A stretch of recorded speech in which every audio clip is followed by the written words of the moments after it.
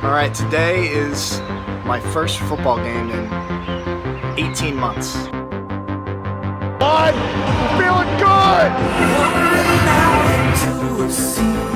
We're gonna go rent a boat. Finally in Stockholm. We're walking to walk you through a rope bridge.